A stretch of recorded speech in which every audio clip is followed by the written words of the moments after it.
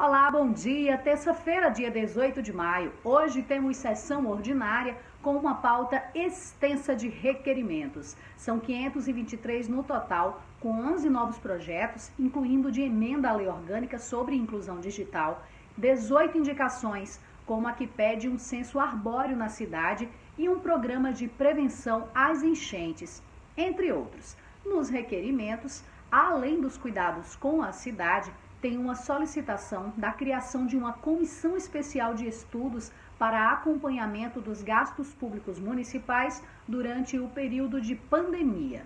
E você já sabe, a sessão ordinária será transmitida ao vivo pelos nossos canais de comunicação. Sueli Gonçalves, para o Plantão da Câmara.